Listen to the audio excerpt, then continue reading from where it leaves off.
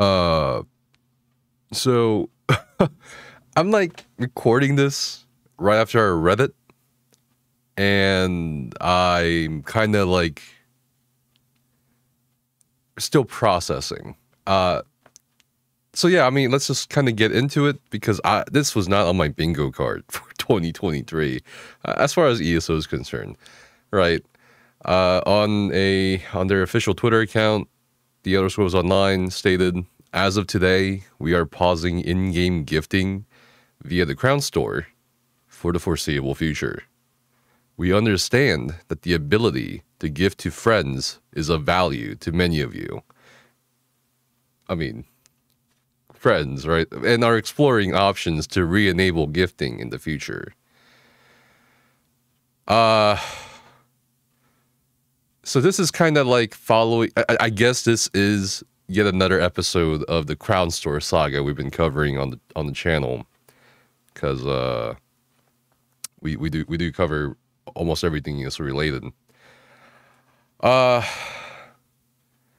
so I guess if I had to give a summary timeline for people who missed out on the previous videos, basically late quarter one, PCNA and PCEU gifting I think was uh, disabled for crown crates.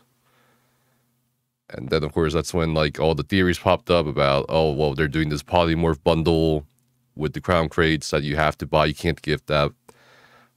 And then later it like there were multiple communications from Kevin, who was the forum manager. He's now a community manager for for ESO, um, and ZOS, and they basically said like we're looking into it because then they said it's not a matter of a bug or anything like that.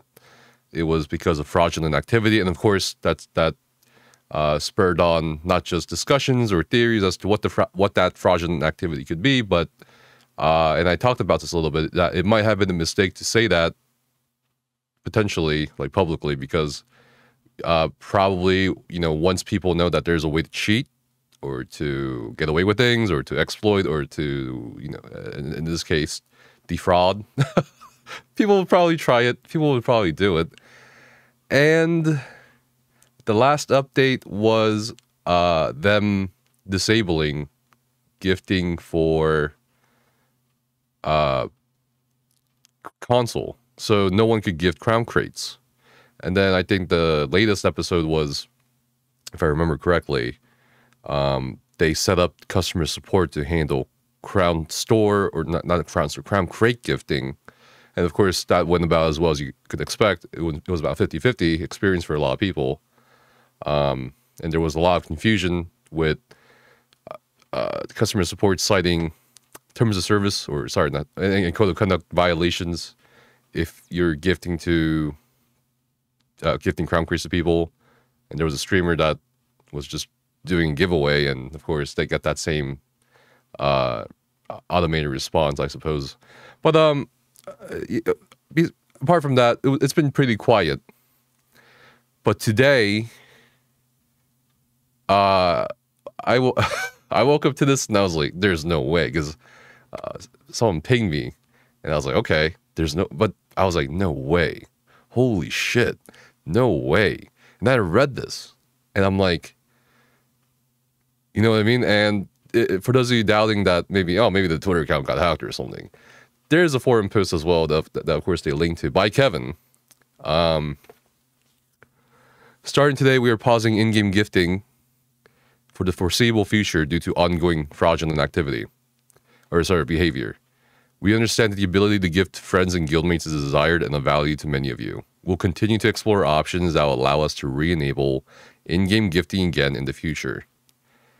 And this is for not PC, not for console, for everybody.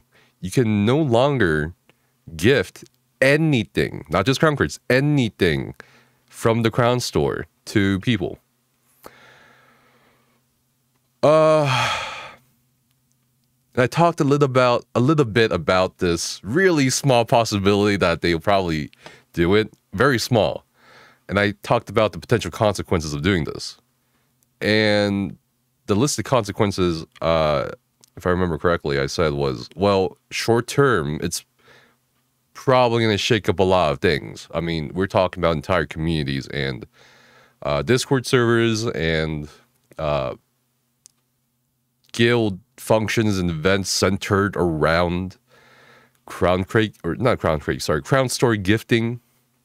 We're talking about entire in game player economies being shaken up because uh, for the longest time now, since what, 2018 at this point, uh, Crown Creek, sorry, Crown Store, I, I keep saying Crown Creek, Crown Store gifting is like, it's such a huge thing. I, I don't, I don't know where to start. But short term, it's gonna cause a lot of hectic messes. Um, I think for sure it'll turn off a lot of people's interest in the game, especially if they are a veteran player who has nothing to spend their gold on apart from multipots or uh, build the occasional builds at this point, right? Because nothing much is changing. And uh, of course, the the guilds that accumulated, the trade guilds that accumulated a lot of gold from um, the uh, essentially like allowed uh, RMT, eh, they're going to stay on top for a little bit. But I think long term, it, it might stabilize, like in terms of prices and stuff like that. We might see um, prices in the player economy go down eventually to where I mean, I, it really depends as well on how long they're going to pause or stop in-game gifting for. It's a lot to wrap my mind around at the moment because there's so many things and uh guilds and all there's a lot there's a lot that's gonna go go on i think um and i don't know if this is a good or bad timing for eso so it's no secret that 2023 is literally going to be one of the golden years of gaming. There's so many good games coming out and that have come out. Um, yesterday was Starfield early access launch. Everyone I know is playing Starfield, and uh, uh much of the world is playing Starfield. So maybe this was, in their eyes, a good time to do it while everybody in ESO, at least the long term players, are going away or are gone playing other games. So maybe they figured this that this is a good time to do it. I can see that uh, reasoning. And on the other hand, I feel like it harms their their relevancy in indirect ways within the MMO space. That's not a very driving space already. So it's like uh, I think it's just no matter what you think about the whole crown exchange thing, I think it did provide incentive in a game where there are no incentives for people to play.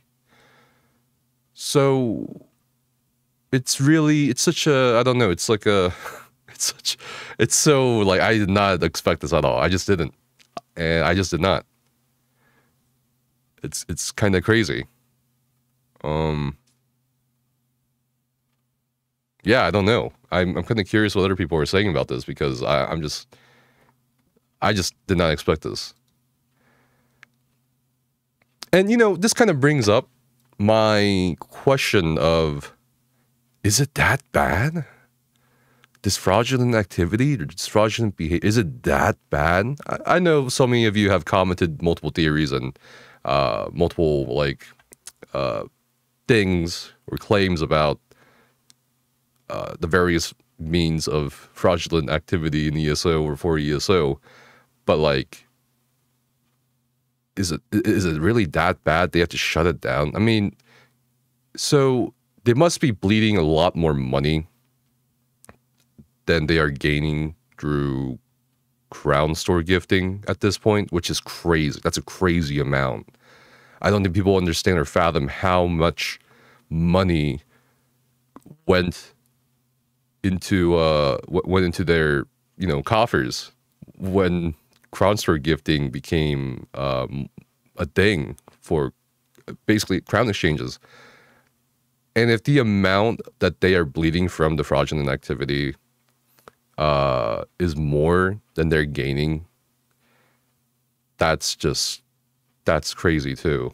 Honestly, I'm, I'm just kind of curious what other people think.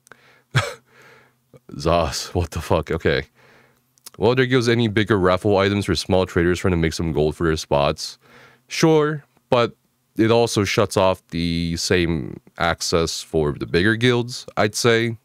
Just again, like I said earlier, short term, the guilds that have accumulated gold from all this staying on top for a while. Anyway, that that's unavoidable. Um, hopefully, this might lead to an official crown trading system without having to rely on trust. You know, I feel like they could have done that very early on when they set up the gifting thing. I am not sure why they didn't. It could have been a separate trade window or something, or it could be the same trading window just with a different somehow enable different currency. But I don't know how, exactly how that will work on the technical end without breaking the game. Um, I don't know if you're gonna stop let everyone exchange crowns for gold, something you're used to allow. If you do that, know that a massive portion of the community will stop playing. A massive portion, uh, I guess we I guess we have to look at the sellers as well, the seller perspective of crowns. But I don't think it'll be. I, am sure. I think it'll be significant. I don't know, massive. Uh, maybe they're the same thing in this case. Oh man, they're practically killing their game, making their community farm gold for that, which is bad on their part. By by guild flash raffles and mortal trader. nah, the mortal traders will be fine. Oh man. Uh, okay. Gifting was a big part of your game. It makes zero sense to get rid of it. I'm sure they don't want to get rid of it, but if it's that bad, that's crazy. There, there's of course a forum thread already about this. Um, more and more it seems the game is doing everything it can to alienate the endgame community. I don't think it's this does not affect just the endgame community. That's all I'm going to say right here.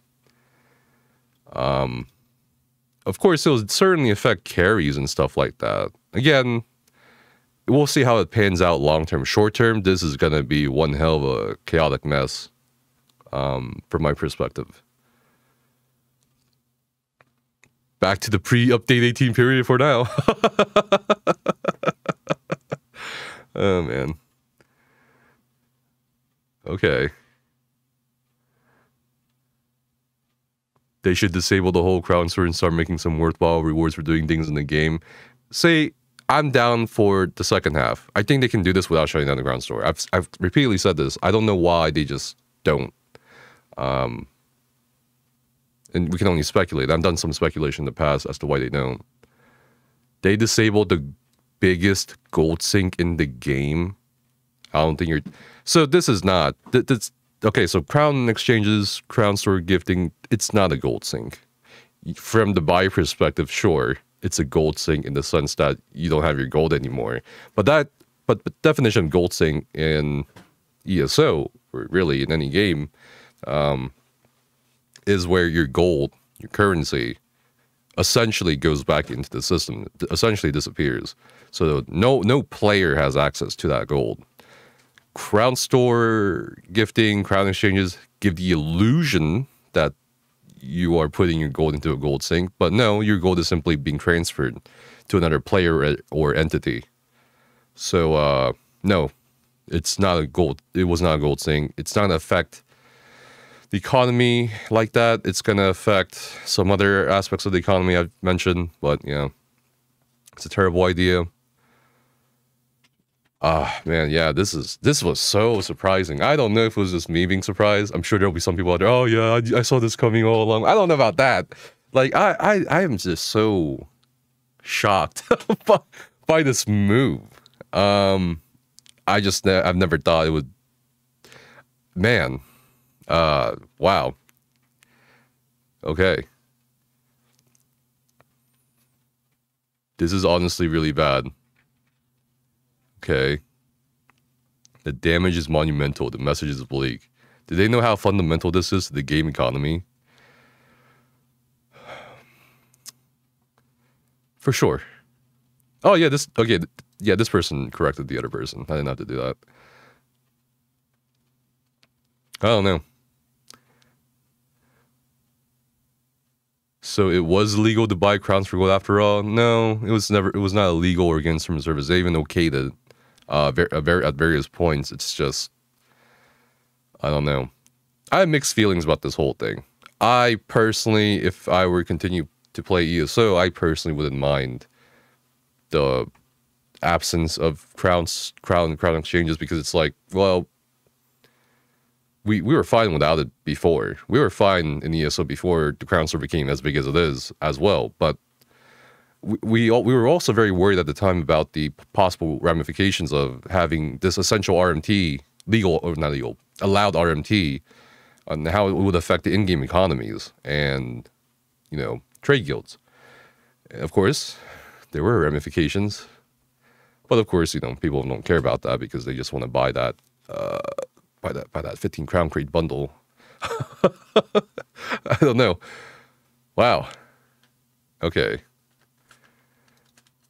Uh, yeah, I don't know. I'm kind of I'm kind of curious what people will say in the YouTube comments. Of course, there'll be a couple unhinged people commenting, but that's that's usual. But I, I would I would definitely like to know uh, everyone else's opinions about this. Wow.